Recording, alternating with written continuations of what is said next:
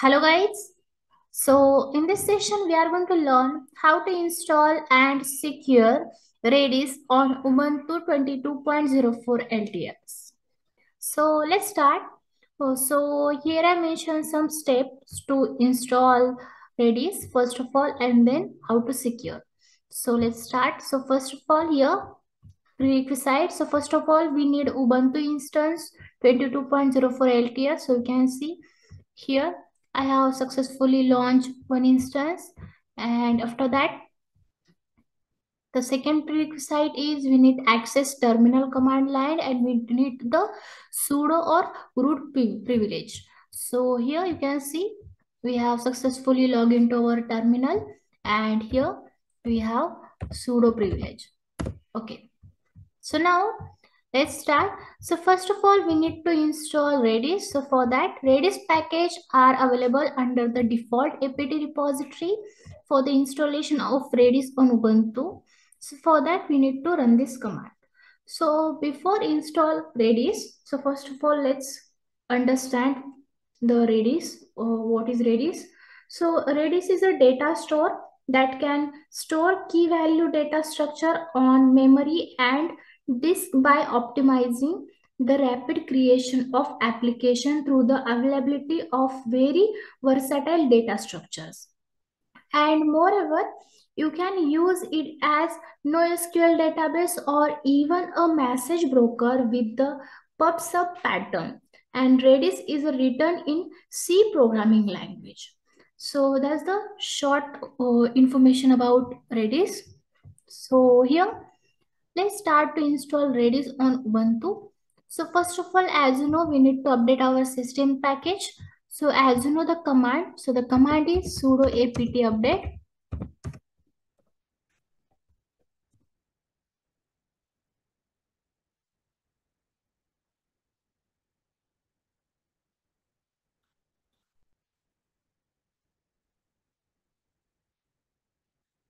It's done. So let's clear the screen and after that let's install redis. So install redis. We are going to use this command sudo apt install redis hyphen server.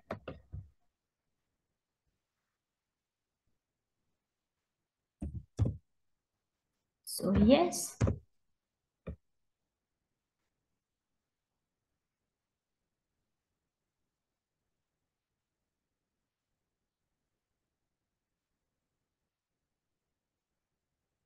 Okay, it's done.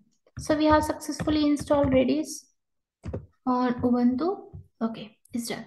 Now next is if you want to check the version of Redis, so we are going to use this command to check version redis hyphen server hyphen v.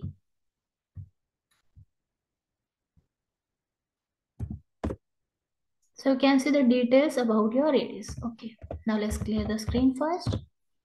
Now, next is configure Redis. So here Redis can start without a configuration file using a built-in default configuration and I'm to make any extra parameter exchange. So you can use this configuration file.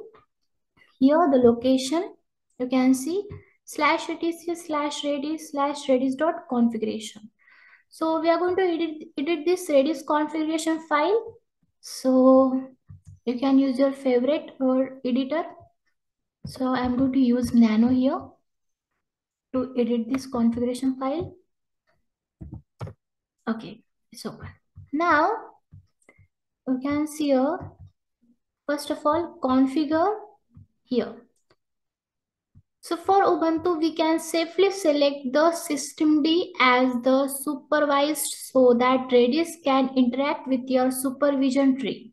So you can use its configuration file in this configuration file. So for that, here, let's scroll down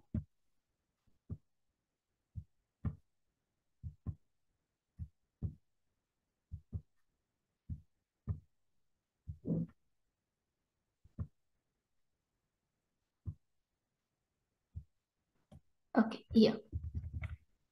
Here you can see supervised and here we are going to enter, we need to enter received it. As you can see here in my screenshot, here I mentioned, you can see. So, okay, it's done.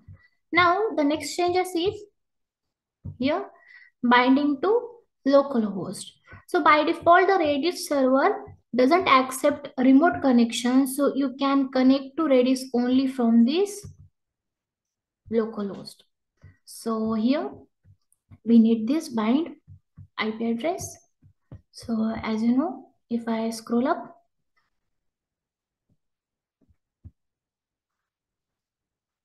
so here you can see, okay.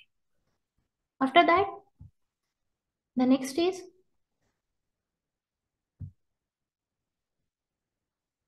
okay.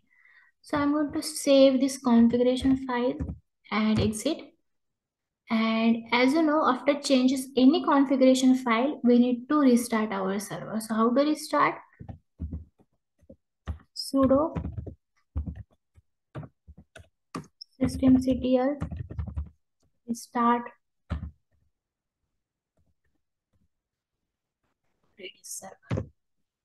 Okay, let's check the status.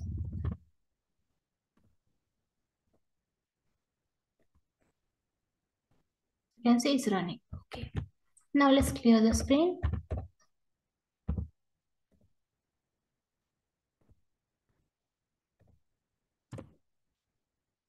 Okay. Now the next step is here verify Redis is listening all interfaces on port number 6379. So let's run this command and check.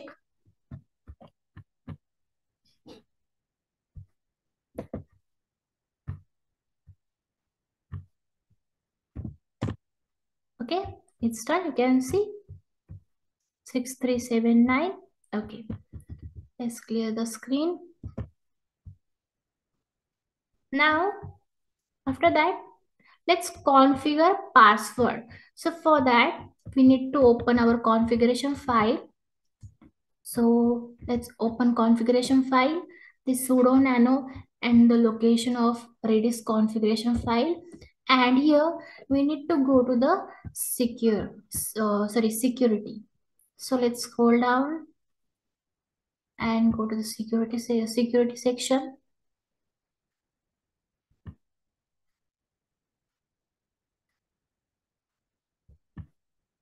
replication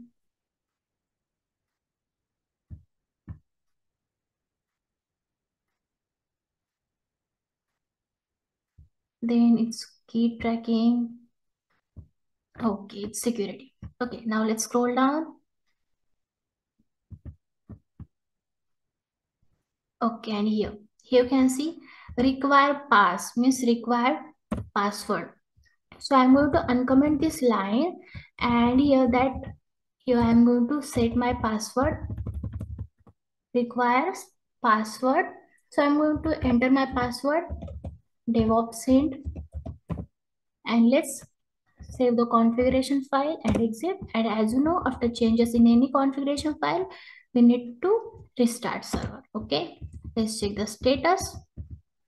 As you know, the command sudo systemctl status. Okay, it's active running. Okay, let's clear the screen. Okay, it's done. So we have successfully configured our password. So we can see here, configure a Redis password, enable one of its two built-in security features and the auth command which require client to authenticate to access the database. And it, you can use its configuration file. That's the location. Okay. Now we need to restart the server. Okay we have successfully restarted now let's install php extension so it's optional you can see so if you need to use Redis with PHP application, so you need to install Redis PHP extension on your Ubuntu system. So to install, you can use this command to install your PHP, sorry, PHP extension. And after that, then the installer will automatically enable the Redis extension for all the pre-installed PHP versions. And if your installer new PHP version after this, so you can use the below command here. Okay, so it's optional. After that, connect to Redis server. So now let's connect to Redis server. So how to connect? So the command is here, Redis hyphen CLI.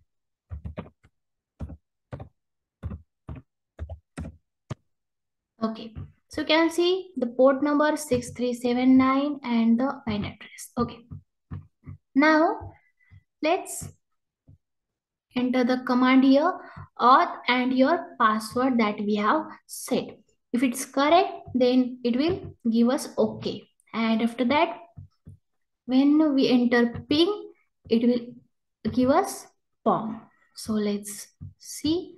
So let's enter auth and your password that we have uh, that we have entered in configuration file. So we have entered DevOps hint. Okay, let's enter. If it's correct, then it will, it will give us okay. Okay. Now if I enter ping, then you can see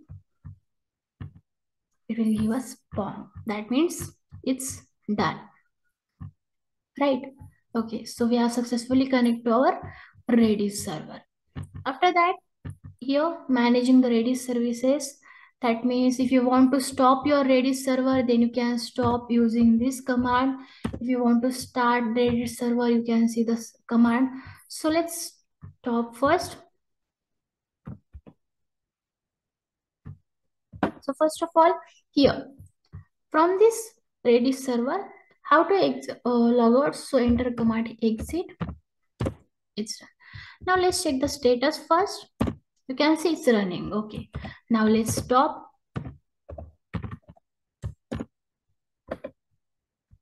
So as you know the command sudo systemctl stop redis server. Okay, let's check the status. You can see it's inactive date. That means stop. Okay. Now let's start it so let's start. So how to start? So the command is sudo systemctl start redis server and let's check the status. You can see it's active running. Okay.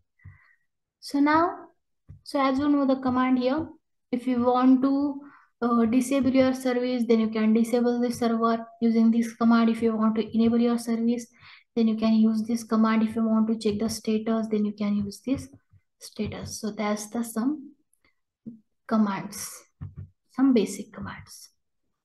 So in this video we have learned how to install and secure redis on ubuntu 22.04 lts so thank you for watching